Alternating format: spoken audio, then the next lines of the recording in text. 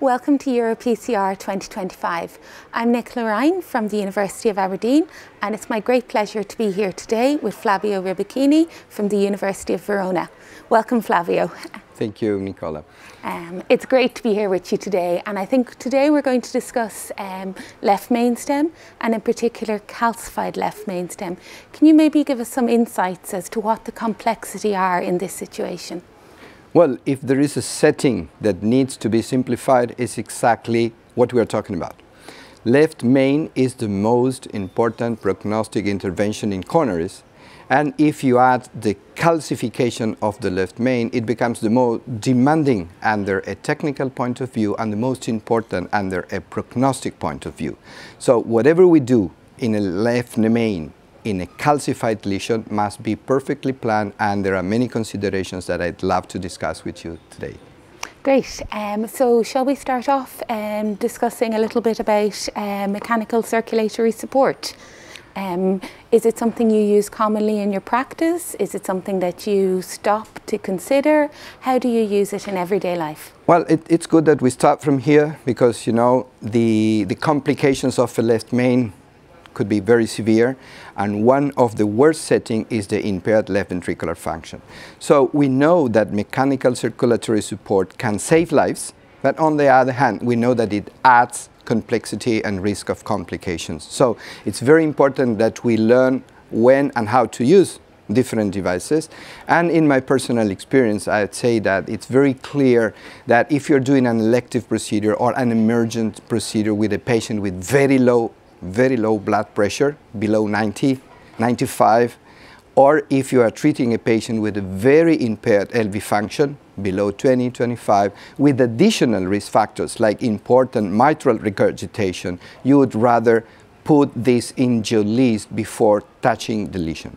Then, in some cases, you can, intermediate cases, 38% uh, ejection fraction, 120 millimeters of mercury, you can put a balloon pump but always having on the shelf the opportunity to upgrade in case of need. This is very important because, as I said, using what is not necessary will provide no benefit and may create problems. But not having that, doing an elective procedure in these situations, low blood pressure, bad ejection fraction, adds risk to the patient. Great. Um, so you've talked about uh, complexity and you've talked about the importance of uh, ensuring that we're doing the best treatment. Do you think that intracoronary imaging is something that we must do for every case? Is it something we should do for selective cases? How do you see the role of intracoronary imaging? Well, I, I can tell you my, my opinion is that you must do it. But I'd like to know also your opinion because to simplify complexity and calcified left main is a perfect example. I want to know what you think about using imaging in this setting. So I agree with you on this one. I think intracoronary imaging is a must in left main stem. We know, as you said, that a calcified left main stem is a really prognostically important vessel. It's a complex procedure and we want to take it step by step. We want to simplify the procedure. Okay, there may be some cases where we're not able to image up front because we can't pass an imaging catheter. But as soon as we can, I like to image, I like to understand my plaque morphology, I like to understand how I'm going to modify my plaque. Once I've modified my plaque, then my key is, have I modified it adequately? If I look at my imaging, I see, okay, I've cracked my calcium, now I'm in a good position to stent.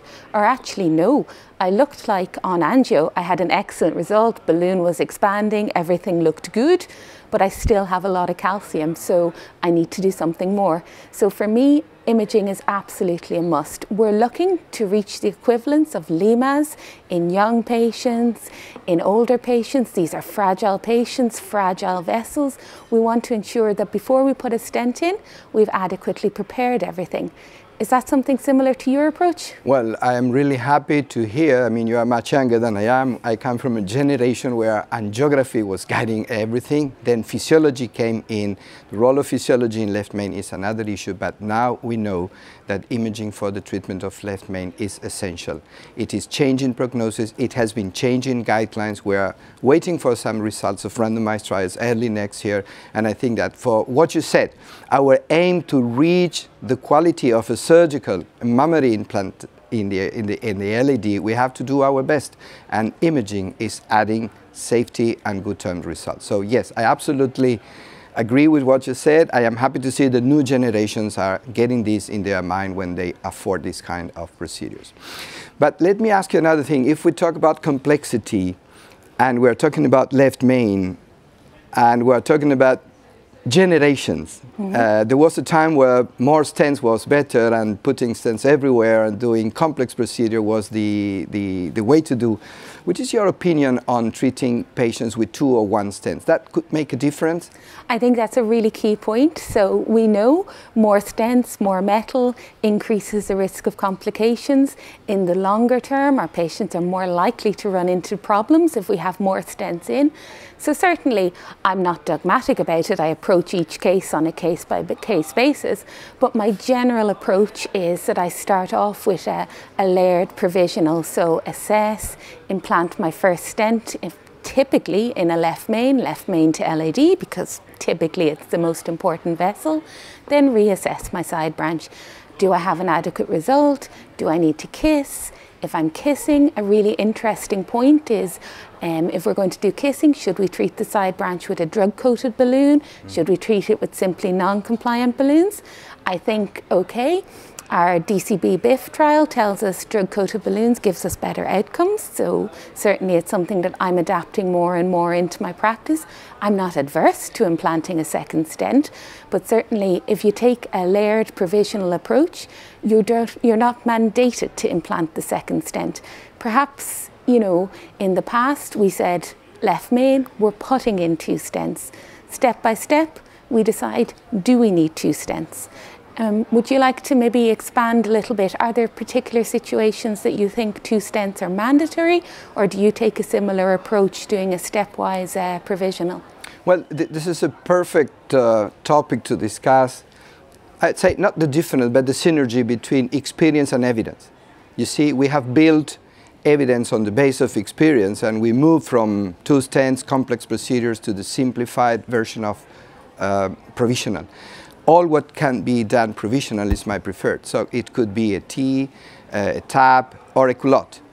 When you start with two stents and you start crushing stuff in the left main, you cannot come back. So I would definitely uh, say that I do prefer to start with a strategy which is provisional and eventually, in a minority of cases, putting a second stent with T, tap, or culotte. Perfect. So as always, it was wonderful chatting to you today. I think we've learned a lot from our discussion and three key messages that I'm taking home from this is that left main stem and in particular left main stem with calcification is a complex procedure. We want to uh, simplify the complexity. So in order to do that, we need to assess things well with in intravascular imaging. We need to consider when mechanical circulatory support is necessary and when actually it's simply adding complexity that we don't need to the procedure. And finally, when we choose our stenting approach, we take things on a step-by-step basis, assessing at each step and coming to our final conclusion. And at the end of the day, we're looking to produce excellent angiographic results and we're always striving to meet the um, surgical outcome with a lima. Great. Great. Thank you very much. Thank you.